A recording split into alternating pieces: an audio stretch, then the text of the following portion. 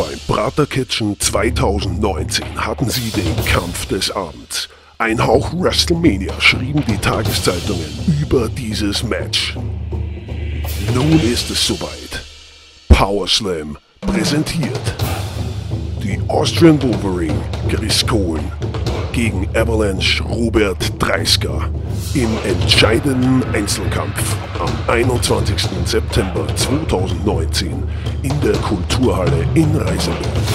Tickets gibt's unter www.prowrestling.at.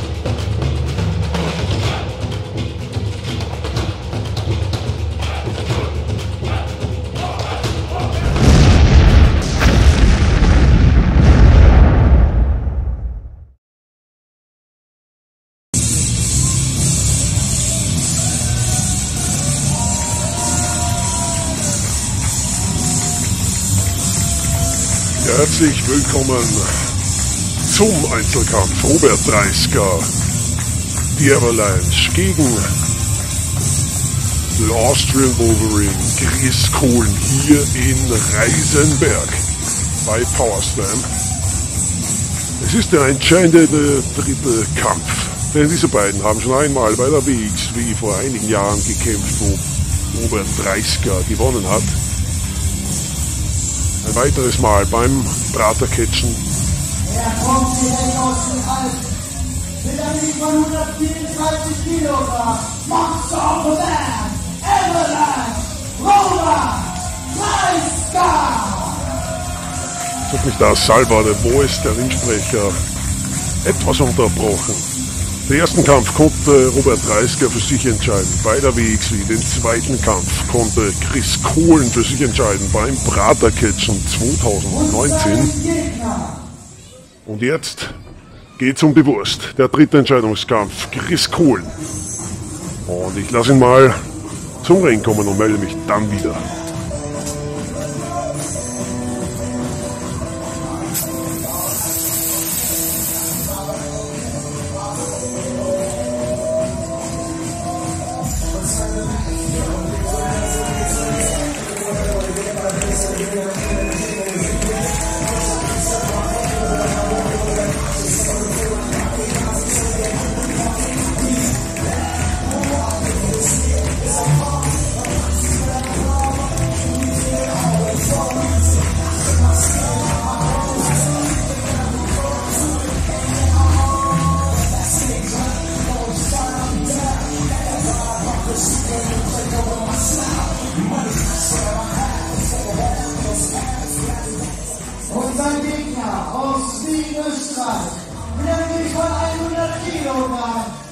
Austrian Wolverine. Chris Colin.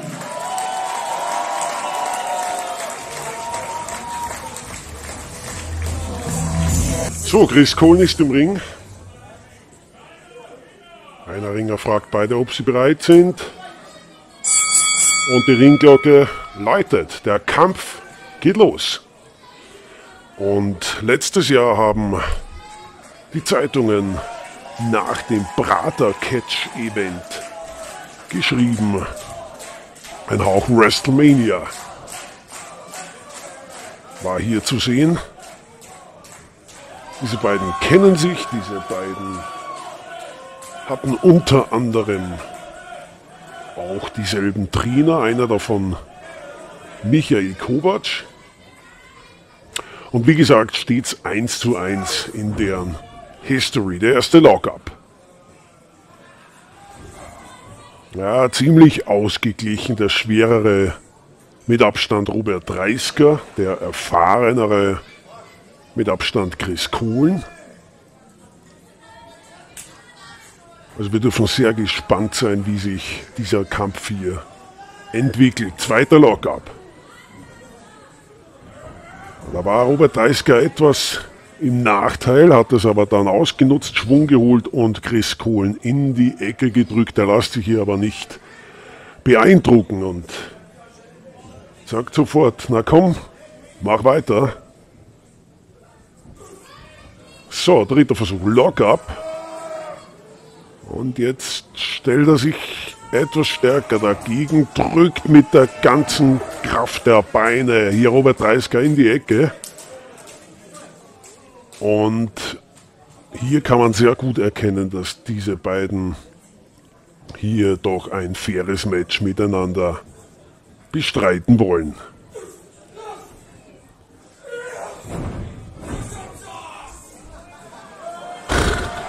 Ja, jetzt. Das ist dann doch etwas eine Freipelung von Robert Dreisker. Der hat Chris Kohlen hier weggestoßen und Kohlen sagt, Moment. Und er macht doch ganz schön viele Liegestütze. Ich weiß nicht wie viele, aber 20, 30 werden das schon gewesen sein. Ich habe jetzt nicht mitgezählt. Dem Publikum gefällt Robert Dreisker gefällt es nicht. Und Rainer Ringer hatte was zum Lachen. Michael Kovac. Hier gerade an der Kamera vorbeigegangen, sitzt im Publikum heute. Und jetzt geht's los mit der Technik, die auch beide Kontrahenten sehr gut drauf haben. Es geht hier doch stark aufs Handgelenk des Gegners, aber Chris Kohlen ja, windet sich hier raus, schön an die Pub und jetzt hat er den linken Arm vom Avalanche Robert Dreisker und das schmerzt ganz schön. Ist natürlich alles eine sehr taktische Geschichte hier anfangs des Matches und man kann, wow, man kann hier sehen, wie wendig Robert Dreisker ist. Die Avalanche. Und Chris Kohlen sagt, okay, okay, Applaus, Respekt. Hätte er auch nicht so gedacht. Ja, beide haben sich natürlich vorbereitet auf dieses Match, auf das dritte Aufeinandertreffen. Diesen Lock-Up hat jetzt Chris Kohlen ausgetrickst, geht auf die Hüfte, springt der Sunset Flip und rollt ihn wirklich ein. Eins, zwei und zwei. Jetzt bleibt er dran. Arm Drag. Das geht wiederum auf die Schulter von Robert Dreisker jetzt. Der bleibt aber dran. Schickt ihm nicht, sondern macht seinerseits einen Armdrag. Drückt zusätzlich den Kopf mit dem Knie zu Boden, was natürlich auch den Nacken belastet, vor allem mit diesem Gewicht. Chris Kohlen findet da bestimmt einen Weg und er hat ihn schon, um da rauszukommen. Das ist natürlich alles ein sehr respektvolles Aufeinandertreffen hier. Jetzt Sunset Flip von 30er 1, 2. Das war noch wesentlich schwungvoller als von Chris Kuhl. Man mag es gar nicht glauben. Ja, da wird er, da deutet er ihm. Du kannst, kann ich schon lange, mein Junge.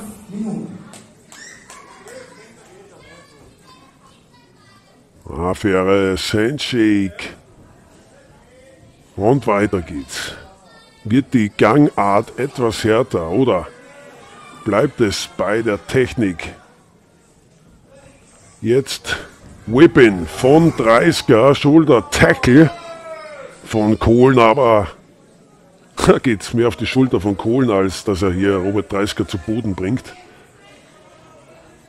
Gleich nochmal in die andere Richtung, zweites Tackle und Kohlen geht etwas in die Knie. Jetzt muss ich was anderes einfallen lassen. Jetzt schickt er 30er. Er geht hier über Kohlen und wow! Alter Schwede, was für ein Tackle. Wundert mich, dass Kohlen da nicht aus den Stiefeln geflogen ist. Body Slam. Anlauf, was kommt? Ein Elbow Drop und der geht Gott sei Dank daneben, sonst hätte ich schwarz gesehen für Kohlen. Der hebt 30er nach oben und hält ihn sogar. Wahnsinn, ein Bodyslam. Anlauf und ein Tackle und jetzt muss er nach draußen gehen. Das war schon mal die erste erfolgreiche Offensive von beiden Seiten. Zuerst von Robert Dreisker und jetzt im Nachhinein von Chris Kohl. Jetzt springt er ja auch noch auf Robert Dreisker drauf. Also ich habe es fast verschrien, die Gangart wird härter. Und da bekommt er einen respektvollen Beifall. Die Austrian Wolverine, er bleibt aber dran. Gibt Robert Dreisker nach und nach. Jetzt setzt er ihn hier in die erste Reihe und Big Boot mitten ins Gesicht. Er weiß, ich muss dranbleiben, um diesen Entscheidungskampf zwischen uns beiden für mich entscheiden zu können. Job, harter Job auf die Brust.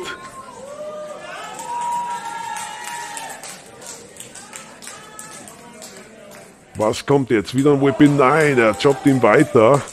Und er bleibt dran. Schläge hier. Oh! Da hebt Robert Dreisker Chris Kohlen aus, als wenn der gar kein Gewicht hätte. Wirft ihn hier mit einem Suplex auf den Ringboden. Jetzt ist er wieder zurück und Kohlen kommt ebenfalls wieder zurück in den Ring. Oder auch nicht, denn Robert Dreisker stößt ihn hier sofort wieder runter und das ist die erste Aktion in meinen Augen, die hier nicht zu für Respekt spricht oder die hier nicht andeutet, dass es um ein faires Aufeinandertreffen geht.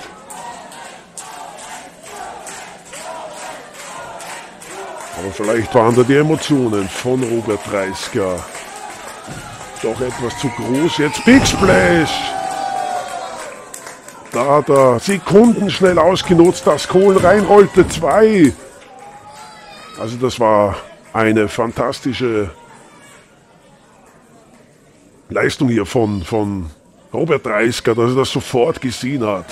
Chris Kohlen rollt sich rein. Nein, da warte ich gar nicht, da ziehe ich ihm nicht auf, da springe ich gar nicht mit einem Elbow oder sonst was drauf. Ich nagel ihn gleich fest mit meinem ganzen Körpergewicht. Und fast hätte es auch funktioniert. Aber cool, bleibt dran.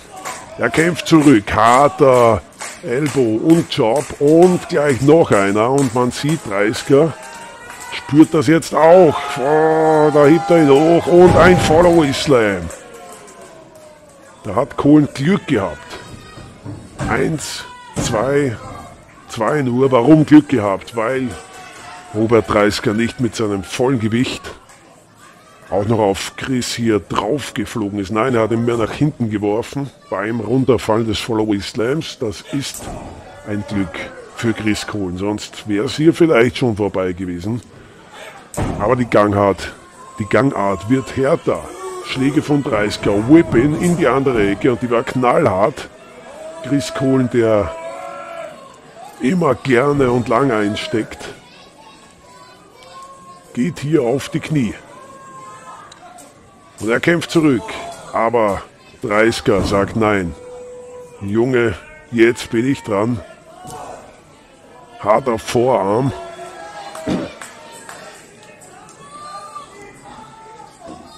Chris Kohlen versucht hier nach draußen zu gehen, aber Dreisker hält ihn fest. Und ein Suplex nach drinnen.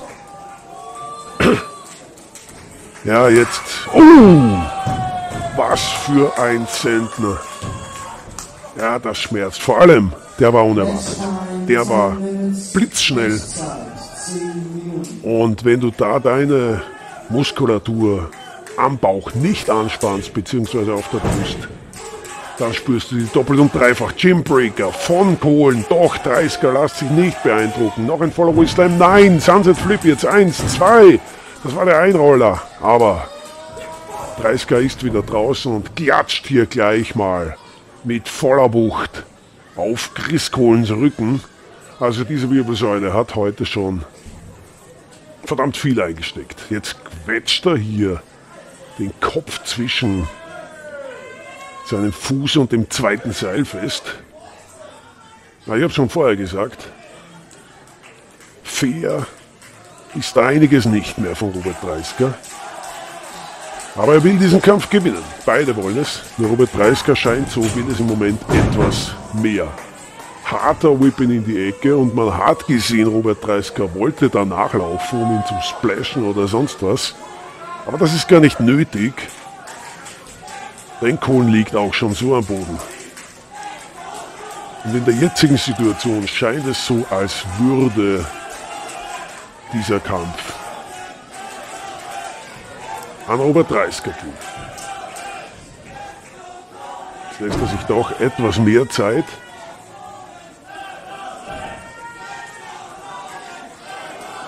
Fordert hier das Publikum auf, dass sie ihn anfeuern, aber das kommt nicht so ganz wie am Anfang. Wieder hat er Clothesline. Ah, Whippen in die Ecke und jetzt eine Clothesline von Chris Kohle. Und jetzt kommt er zurück und das Publikum mit ihm. Jetzt ist er da, die Austrian Wolverine. Und es ist darauf zu, dass man noch etwas defensiv bleibt, um den richtigen Moment abzuwarten, was Chris hier getan haben dürfte kämpft sie nach oben. Closen Ansatz oder Schlagansatz von 30er. Den Kohlen blockt und gleich nochmal. Zwei fette Ohrfeigen. Und eine dritte und ein Job und ein Vorarm und noch ein Job. Sieht nach einem Whipping aus. Er dreht um, Reversal. Und ein Big Boot. Jetzt ist er wieder da, Chris Cole. Wunderschöner Splash von oben. Und was wird das? Ein Mondsold nach hinten und Pin 1, 2.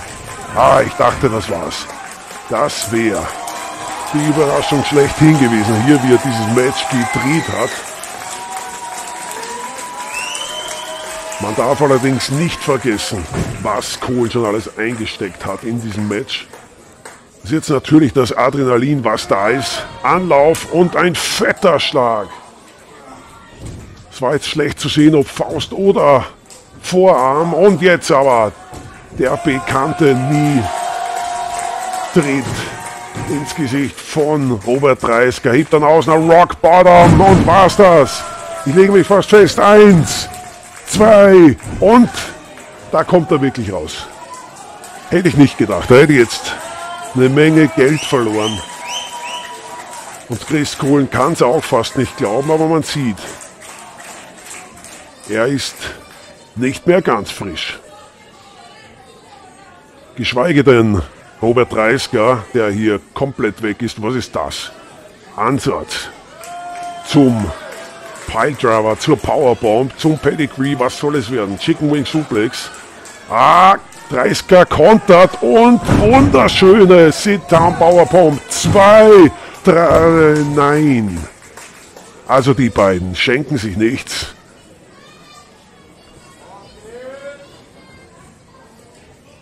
Und es ist immer wieder beeindruckend. Auch jetzt bei Robert Dreisker und vorhin bei Chris Kohlen.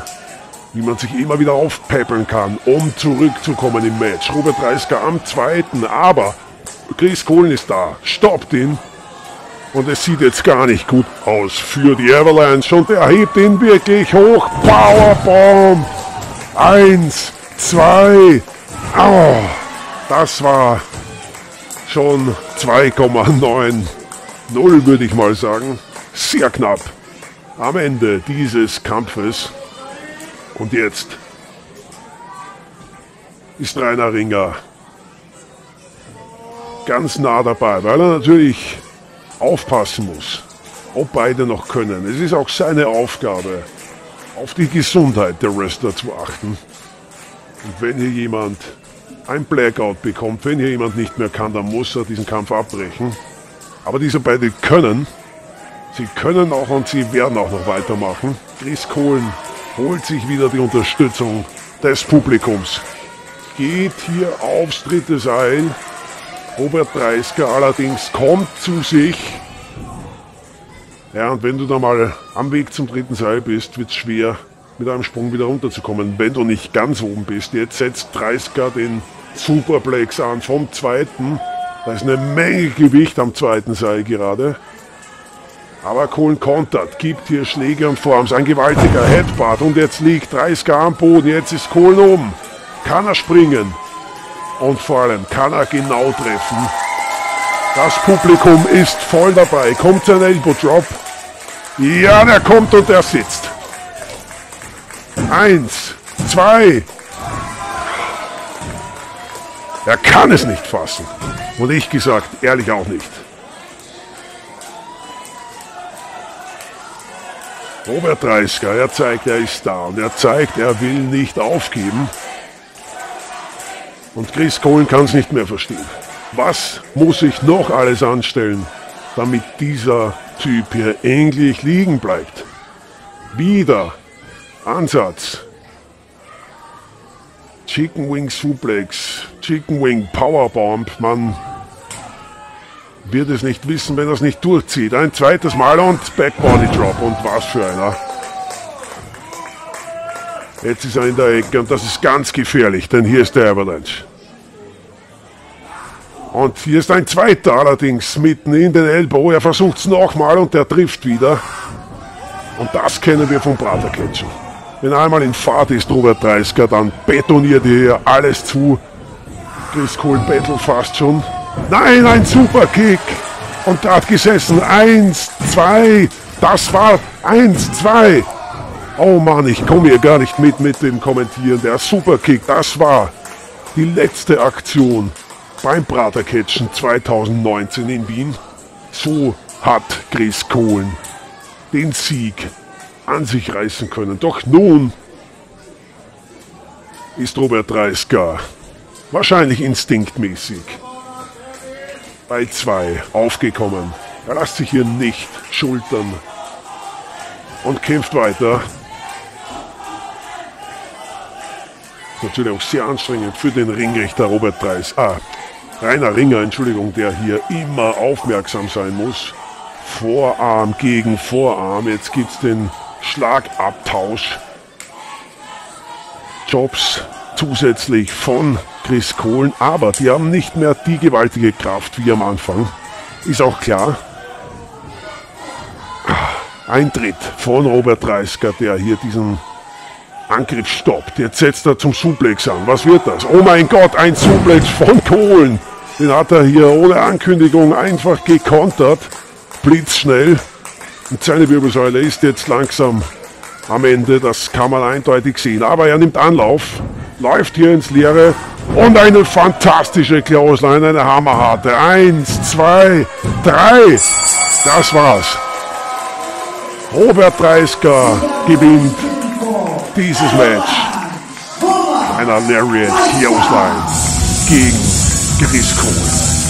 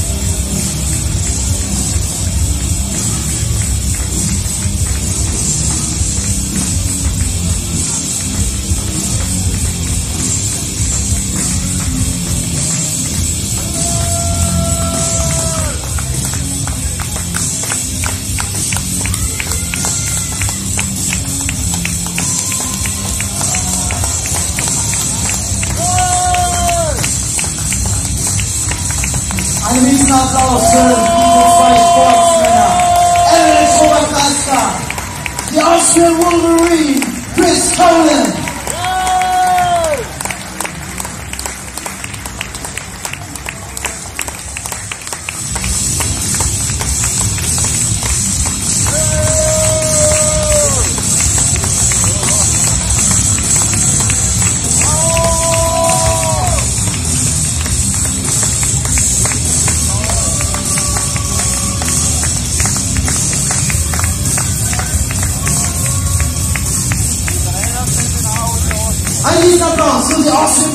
Pistolen, Rocky Avalanche, Pumas, Dice